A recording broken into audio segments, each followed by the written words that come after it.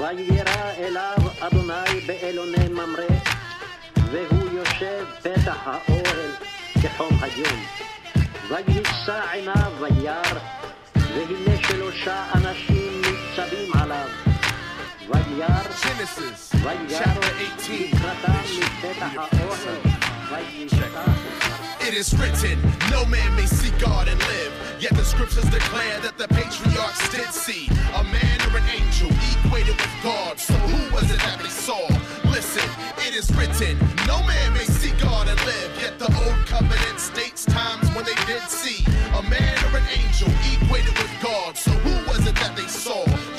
It's Abraham set by his tent in the heat of the day, swatting flies and mosquitoes away. He looked up and saw three men meters away in the distance. So he arose and hurried from the entrance of his tent. Then he bent low down to the ground. In a position of submission, he voiced his petition. If I have found favor in your eyes, my Lord, I beg of you, do not pass your servant by. But let some water be brought so you can all wash your feet and wait in the shade of the tree as I prepare something to eat.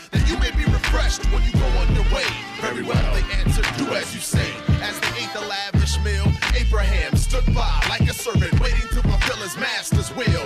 Cause he understood that one of the three was the invisible Lord, manifested in physical form. And the scriptures testify that this man, when referring to himself, used the name of the Most High and prophesied that he would return in a year uh-huh. to give Abraham and Sarah a child, and alas, it came to pass. So is it really crass to say that God became a man? Uh-huh. And is it contrary to the faith of Abraham? Then who was it that he saw in the afternoon heat, and meat with dusty feet and all? It is written, no man may see God and live. Yet the scriptures declare that the patriarchs did see a man or an angel equated with God. So who was it that they saw?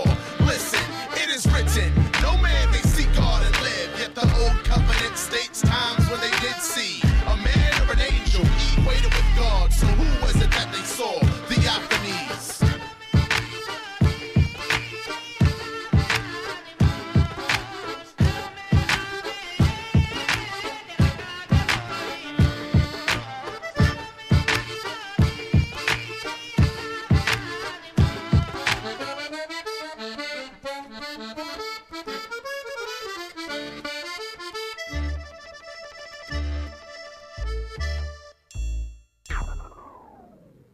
Lee, I cried.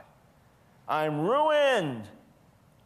I'm a man of unclean lips, and I live among a people of unclean lips, and my eyes have seen the King, the Lord Almighty. Woe is me, I'm going to die because I've seen the Lord, His holiness, His presence, His power. Who did Isaiah see? No one can see God. Who did the elders of Israel see? No one can see God.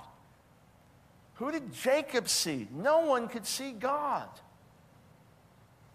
Who did Abraham see? No one can see God. Yet they all saw him. If Yahweh could appear in a physical form and walk among us on the earth, whether it was for two minutes or 10 minutes, or two hours or 10 hours, if he could do that while remaining God in heaven, then a fundamental objection to the incarnation has just been overcome. A fundamental objection that, that God could not live among us in the person of his Son. If he could live among us for hours, he could live among us for years. While still remaining the unseen, invisible, eternal God in heaven.